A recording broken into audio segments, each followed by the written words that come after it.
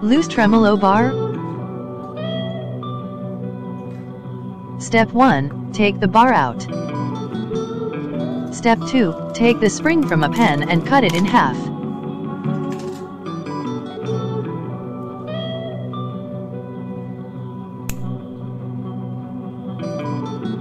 Step 3, put the spring in, uncut side up and twist the bar back on.